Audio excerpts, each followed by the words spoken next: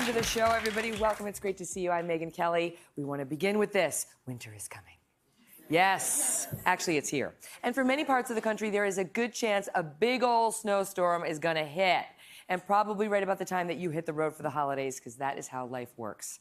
Uh, which can not only be annoying, but dangerous. And so today, National Investigative Correspondent Jeff Rossen wants to make sure that you have everything you need for safety and maybe even survival in a worst case scenario. He joins me now. Come on over here. You're going to check Hi. out the car. How's it going, Mr. I always drive in a full suit. This Very nice. Always. I like how you roll. What kind of car are we in? It's like have, a, have a seat. Is This this like a minivan? Let's just call it a Lamborghini. Whee! Woo! Woo!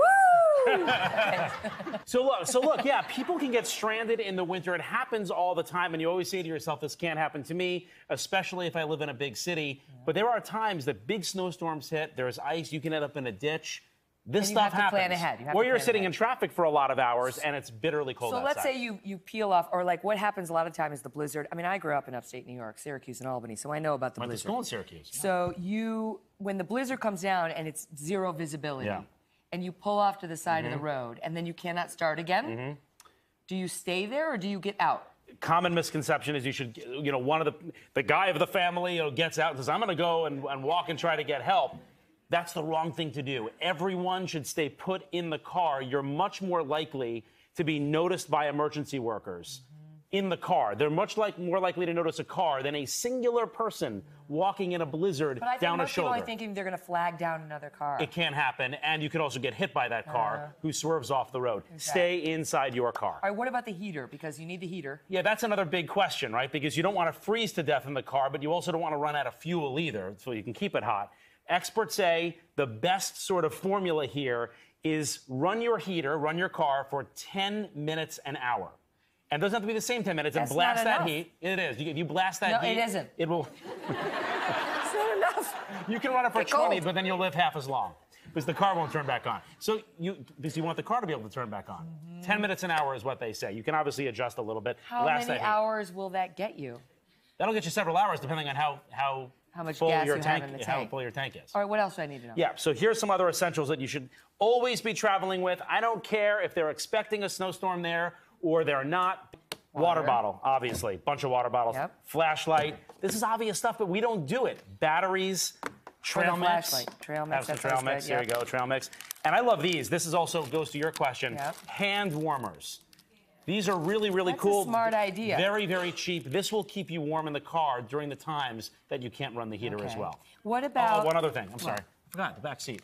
Packed blankets. Oh yeah, they're really- we have one of those. feel how nice Oh, that's is, too. actually quite lovely. Really is that lovely. Pottery Barn? Yeah. Yeah. they make these and they're really nice. It's a great Christmas gift. Seriously. It's really Um, nice. Okay, so got it. So you need sort of your your go-to bag Yes, in the car. in the car. Plan ahead. this is going to save your life. There's something about the banana and the tailpipe. You're oh wait, no, just the tailpipe. just the tail. Who saw that? Who knows Hello. that movie? Um, Who knows that movie? Thank you. Beverly Hills Cop. Go ahead. Tell us about the tailpipe. All right, What's good. I was just waiting. I was waiting. I want to see what else is going to happen. The important thing is I amuse myself, Ross. And go ahead. Um, muff, yeah, tailpipe. Car, you want to make sure it's clear of the snow because if you get stuck and your car turns on and the tailpipe is there's snow against it, the carbon dioxide will come back inside the car and kill you. So you need to, the minute you get stuck, the only reason to get out of the car is run to the back, clear out the tailpipe of snow, because if you swerved, you may have hit some. Make sure snow is clear of it so the exhaust can get out of the car and doesn't come back in. Okay, got it. All right. We're now, moving. We're moving. There are other dangers lurking out there. We're moving. Bye, Lamborghini. Shoveling the snow, is this a problem? Yes. Oh yeah. So let's show you how to shovel first, right? This isn't kinda about the heart attack. This Uh, is about something else. yeah. Well, it sort of is actually. Okay. Yeah. I'll, let I'll give you the ergonomic one. Okay. These are really cool if you can find them. See that little bend in Yeah. the metal right there? Yeah. These sort of help you. And you put your hand right down here. Oh, Yeah, okay. well, then put that one there.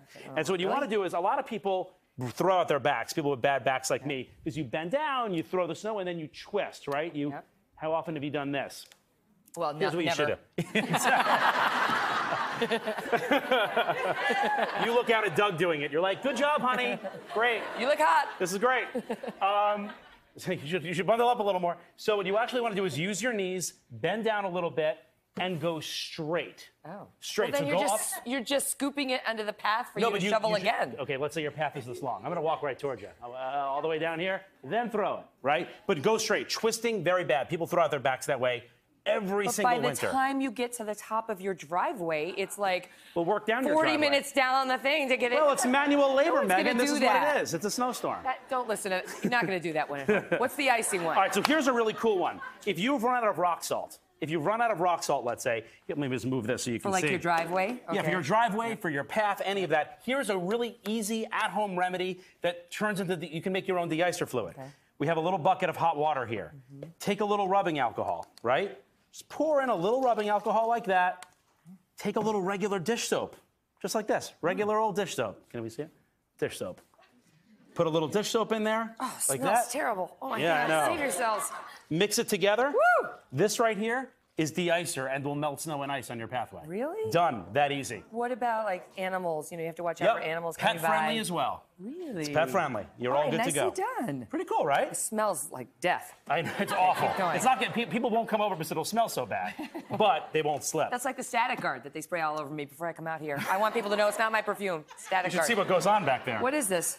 Generators. Generator? A generator. A lot of people have generators, of course, in case they lose electricity. A lot of people forget this runs on gas. It runs on gas cans. Mm-hmm. And what happens is people keep these in their garages, right? They don't want to have it outside. They don't want to schlep it out. So they turn it on. It's sitting in the garage. They feel like, oh, the garage is sort of outside. No. That's again how carbon monoxide gets inside of your house. Get it out of your house. This needs to be outside, and you run a you run an extension cord into the That's house. That's an important one. This has to be outside. People die every year from that. Not like that shovel tip. This was a good one. Here's some tough crowd, tough crowd. Here's something else that's really cool. All right, so you get in. How annoying is this with your kids, yourself? You come in, you're like, you know, you come out of the snow and your feet are just dripping with wetness and it gets all over everywhere. Here's something really cool. Stuff newspapers inside. It sops everything up as soon as you get inside your house, Oh. right?